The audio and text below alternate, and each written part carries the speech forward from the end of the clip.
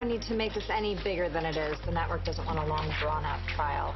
We would like to move on. You mean from Cheryl Willen's suicide or the loss of 10 sponsors? You don't need to sell anymore. We're here. Mm-hmm. That wasn't selling. That was rubbing it in. Over the phone, Will and I talked about two million. Actually, we talked about three million and a retraction. Oh. I must have misheard. The network might be able to go to 2.5, but any retraction would have to be worked out separately with Duke.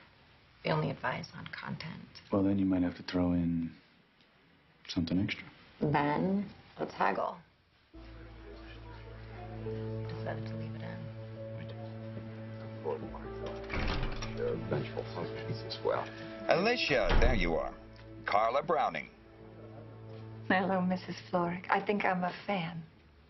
Thank you. I think. Chocolate raisins. No, thank you. It's funny, most divorce lawyers have Kleenex. Yes, I find it harder for my clients to cry when their mouths are filled with M&Ms. Have you been to many divorce attorneys, Miss Browning? A few. My husband and I seem to have a, a series of relapses. Him swearing to change, me forgiving, him forgetting, both of us repeating. I think I'm done.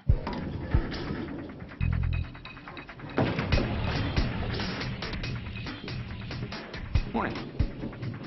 Point me in the direction of the settlement conference. I moved out about a week ago, and he's been calling at all hours. Threatening calls.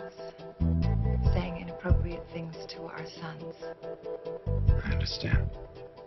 But I must warn you, filing for a restraining order against your husband could set the stage for a very ugly divorce. Mr. Roscoe, we didn't expect you.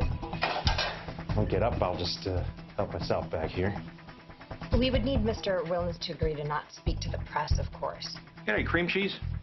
Jeanette, can you get some cream cheese for Mr. Roscoe, please? And uh, fruit, uh, pineapple. pineapple, too, in a bib. Got it. Mr. Willens would have to agree to no future civil action. All this is outlined in paragraph six. Um, If you take a look at that paragraph right there. I just want to add that there will be no formal retraction agreement, and the amount is subject to change. I'm curious. What is the amount? How much you guys paying? 2.5 million. Whoa. Hmm. Mr. Willen's going to be paying that out of his own pocket, or is your law firm going to be helping him out? Mr. Roscoe, hmm. the network would prefer to handle this quietly. Love quietly.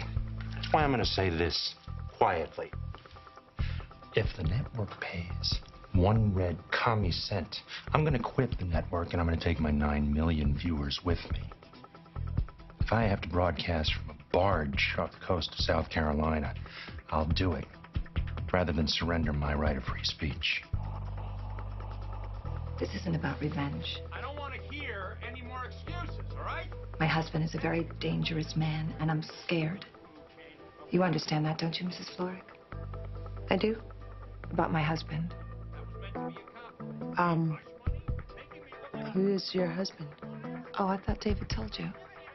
And I just assumed, Alicia, I'm sorry. My married name isn't Browning, it's Childs. Her husband is Glenn Childs, the state's attorney.